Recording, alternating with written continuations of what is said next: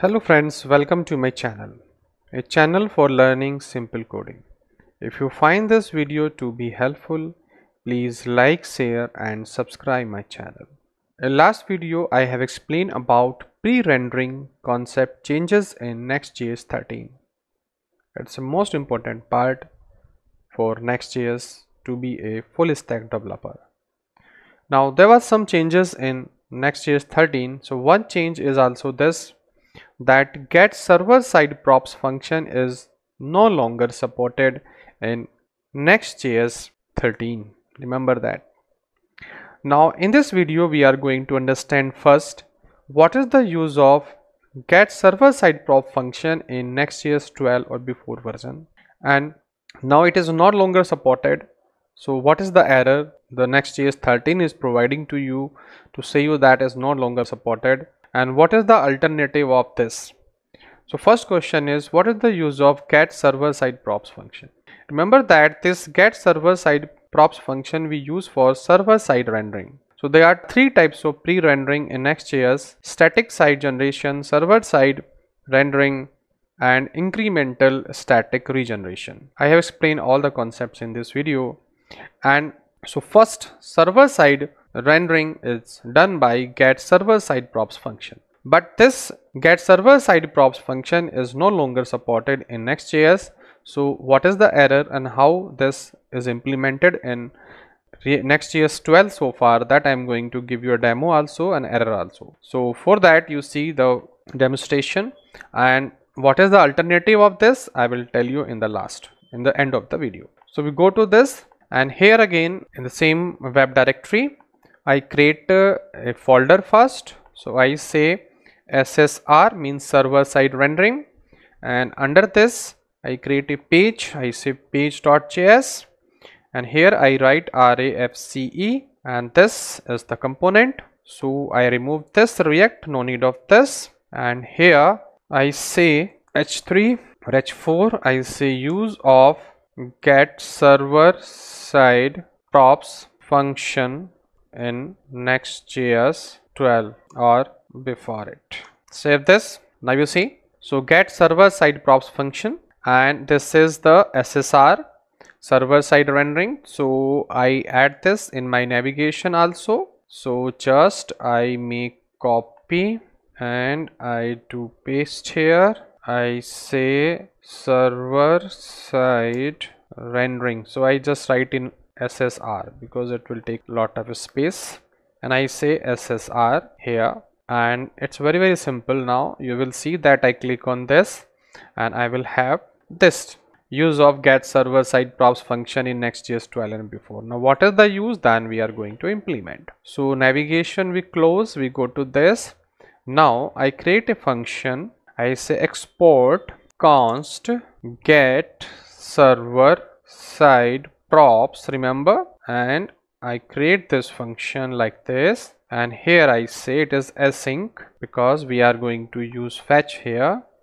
And for fetch library I have a dummy URL for fake API REST API I'm going to use it. So I say here uh, data equal to fetch. And under this I want to pass this URL and I say await here await. And I save this now remember under this I say so I say const q data means quotes I want to read here. So I say await again and I say uh, data.json because it return the data. And then after that I have a quotes so I return the props. Remember that we have to return this props and under this props we have to pass the value that I say quotes all the quotes I want to display here so I create this quotes also. Quotes equal to I say q data dot quotes. Remember that I want to pass here. So this kind of information we use to fetch data at server side and we called we use this function for server side rendering. So I'm getting this URL I'm fetching data by this fetch function in this function. I'm getting a data i'm converting this data into the array format and i'm passing the array to this as a props. And i have to use this here so i say quotes. So automatically this variable because I am passing here this object it will come here as a quotes. And remember that if I use it here console.log if I put here quotes here it will say undefined. And it will generate error also now you see the output of the page. If I go to my page you see error. Error is get server side props is not supported in app directory means directly in next.js 13 you this documentation you can go to this documentation and read it that it is not supported. Remember that? But this is the code which we write in next.js 12 and before and this code run 100% in next.js 12 and before version. But now this is not executing. Remember that. And it is also not producing the result because it's a error. But it's a undefined this also because this information is not reaching to this component under the app directory. Because this app routing we are using in next.js 13 so under the app routing it is not supported. Now we go to our ppt now question is what is the use of get server side props function in next.js 12 and before? I have explained you that how to write the code how to write the code in next.js 12 and before.